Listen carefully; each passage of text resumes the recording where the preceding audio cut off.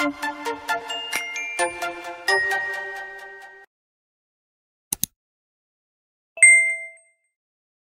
guys, welcome back to my channel. This is going to be 10 minutes and out the door makeup look. I have done this multiple times when I have no time but I still want to look alive. This is the finished makeup look. It is really simple. Don't do all the extras just because you're saving time.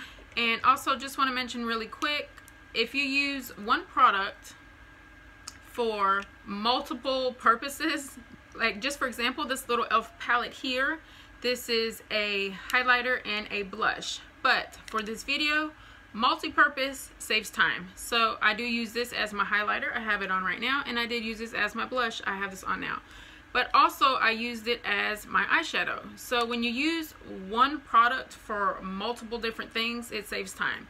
You don't have to go reach for different products. You don't have to look for other products. You have one product for multi-uses it saves a lot of time. It's great. I actually love doing that when I have no time. So just a little side note there. That's what we're going to do in this video today. If you haven't already please go subscribe. I am a small YouTube channel. Every subscription helps. I do upload new videos every Monday Wednesday and Friday. And with no further ado let's get right into this video so hey guys, jumping right into this video, I'm first going to apply my Smashbox Photo Finish Foundation Primer I absolutely love this one for when I'm doing powder foundation. I find that it makes my powder look very smooth underneath. You don't want to use anything that's like oil control or anything like that because I find that the powder sticks to it. So using this just really smooths out any rough edges or anything like that and it looks super nice. So going in with my dose of colors in the shade 003, that is my favorite concealer.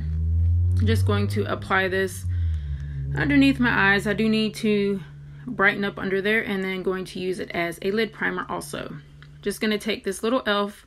concealer sponge, which I have been absolutely loving. It's little and it fits right under the eye. And just going to go ahead and smooth this out. And then same thing on the top of the eye, just blend it out. And by the way, this is not wet. This is just a dry sponge. Either way, it works really good. So, so just going to be doing the same thing on the other eye. Just smoothing that out and blending it into the skin. And this concealer blends into the skin flawlessly. And it just brightens up everything the first time. I never have to go back in and do a second layer. So I absolutely love this concealer.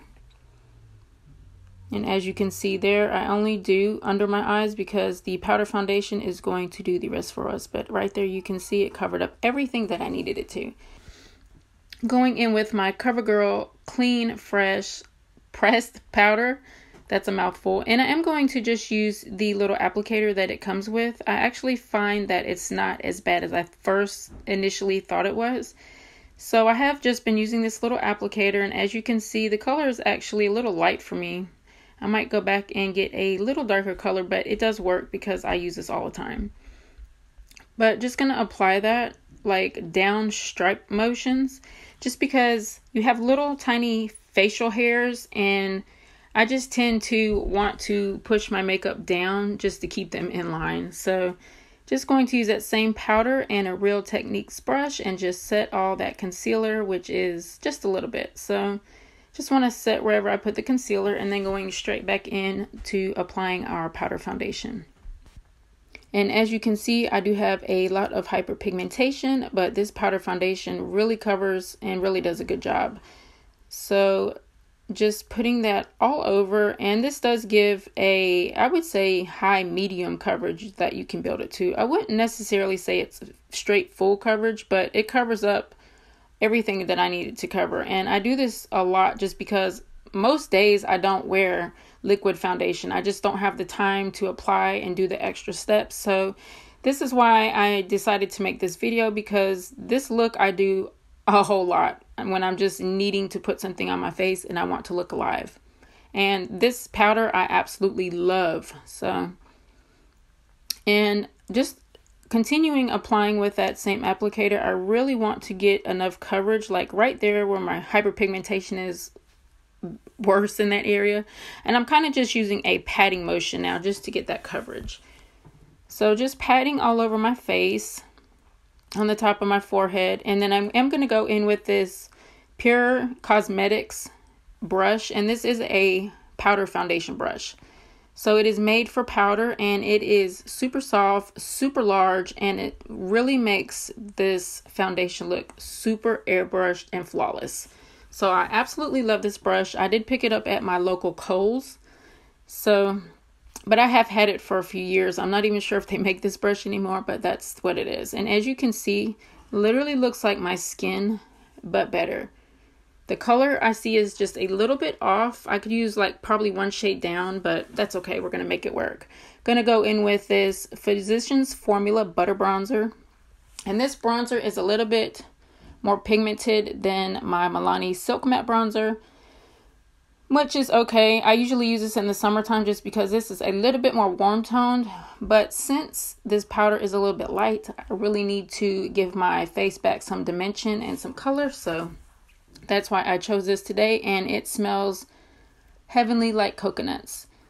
So just applying that to the hollows of my cheeks, around my forehead, and then of course my jawbone and a little bit on my eyes just to give some color back to the skin. And as you can see right there, it's like a three shape I do. It's so fast, but it is kind of in like that shape of a three. So going in with my little e.l.f. palette here and going to highlight the tops of my cheekbones. And like I was saying in the beginning, when you use one product for multi-purpose, it does save time.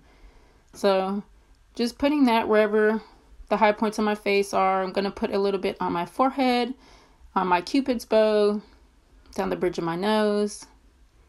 And really love these little e.l.f. palettes. Like for $3, you can't beat it. And they're so good. They don't have kickback. It's super pigmented. They have a lot of colors. So nothing at all bad to say about these little palettes. I absolutely love them.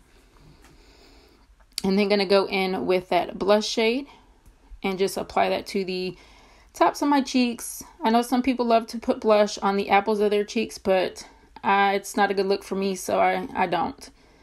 I just put everything to the back of my face and then going to go in with that same blush color and we're going to throw this in the eyes for the transition shade right there in the crease. Like I said, just using one product for multiple things saves a lot of time. So I find myself doing that a lot lately. When I don't really have time to be all glammed up, and I am going to use that same highlighting shade that we put on our face as my highlight on my brow bone. And that is just a little e.l.f. flat shader brush that I got at my local Walmart for $3. And I am going to go in with my finger and apply this highlighter color to my lid because I use my finger for any shimmer, glitter, or anything like that. I just honestly think it's the best tool for that kind of product. So I always use my finger on my lid. And then just going through and brushing my brows, not going to do too much to them. I don't have sparse brows, so I usually just brush through and go. Going in with my Bare Minerals Strength and Length Mascara. Just going to quickly apply two coats of that. And this wand, as you can see, is a little bit tricky. It's kind of like a flat paddle. And at first, when I got this mascara, I was like, oh, heck no. But I did use it again. I did give it another go. And you do have to work with it a little bit. But it's super good, you guys. This really lengthens and it really does volumize but the best thing about this mascara is that it has lash loving ingredients in it and that it's good for your lashes and it makes your lashes like stay soft throughout the day. They're not crunchy or crispy or anything and it doesn't flake or smudge. So been loving that. Then going to go back in with that little e.l.f. palette and just highlight the inners of our eyes with that same little palette. And that's what I mean by one product but multi-purpose. Just using it to brighten up the inners of my eyes and loving it for that. Then going to go in with my NYX lip liner that is in the shade of Violet Smoke. I absolutely love wooden lip liner pencils. I find that the NYX one lasts all day even through eating and drinking. So my absolute favorite. It wasn't my yearly favorite, so I do use this all the time. And I am using this cute little Makeup Revolution. This is actually a nighttime lip mask. And this is the watermelon one. I think they have like two other flavors. But you just pop the little top off and it smells so heavenly. You guys, it smells so good. And I have been using this at nighttime. But for winter, I find that the wonderful because I need something on my lips at all times. So gonna go in with my LA Girl spray. It looks just like that. And I'm going to literally drench my face with this just because we are wearing a powder foundation and I need all those powders to sink in my skin and look like skin. And this does smell like coconuts. And there you have it, you guys. That is the 10 minutes and out the door makeup look. And thanks for watching, and I will see you in my next video.